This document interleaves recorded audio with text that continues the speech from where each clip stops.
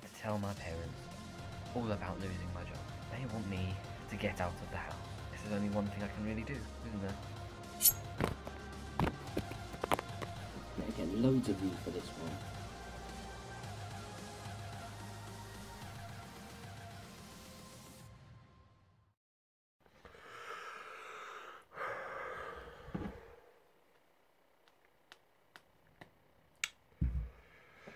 Right, this is quite shameful. I have made a few blunders. If you watched the last video to the end, you may have seen that. You may have uh, figured out that I um, I may have pretended to slit my wrists. I've had 300 messages since then, all telling me that I've made a complete mistake and that I need to retract the statement immediately. I suppose I was a bit unsensitive. So yes, I'm really sorry about all that. Don't know what I was thinking. I guess I just did it for their views. Also, my parents aren't really kicking me out of the house. They just told me to set the record straight. But they really are considering it now.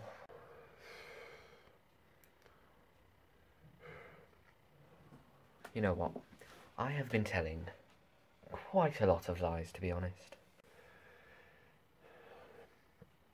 For instance, I'm not actually trans. My name isn't even Anita, it's Andrew. This hair isn't even dyed, that's just hairspray. In fact, this isn't even my real voice. No, my real voice sounds like this.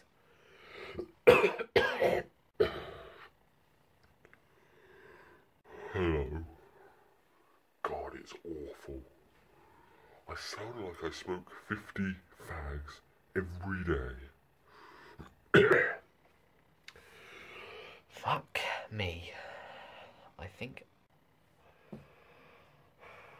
I think I may have just fucked myself with these vlogs. Some sort of karma, I suppose. Yes.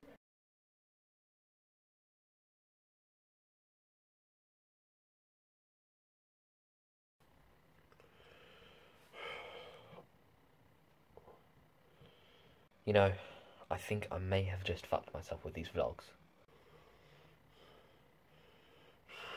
Some sort of karma, I suppose.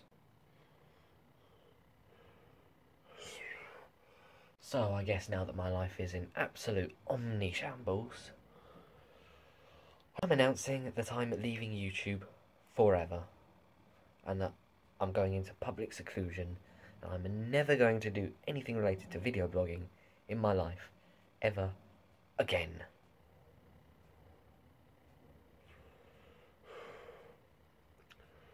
It's all a bunch of shit anyway. So, yes, you won't be seeing me again. Goodbye. Goodbye to all of you.